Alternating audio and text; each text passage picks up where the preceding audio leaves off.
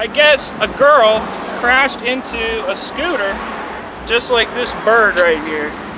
Bird. And this guy saw it. So, sir, I was just wondering exactly what happened. Let's check out this window right here where the girl crashed into.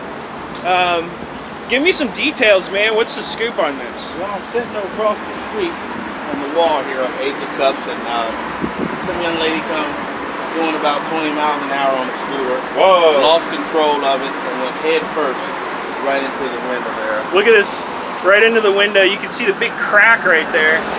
Did she, so was she really hurt bad? Uh, she was cut up some, and uh, I had to go in there and pick her up out of there. She have a helmet? No, she had nothing. They, I believe those scooters should be on the street, not on the sidewalk. I think it's actually law now that those are not allowed on the sidewalk. Did you know that? No, I did not. Yeah, they are trying to. Yeah. I think that's already law. So she's breaking the law and breaking the windows. Yes, she did. Hey, thank you, sir. thank you. All right, that was great. And let's see.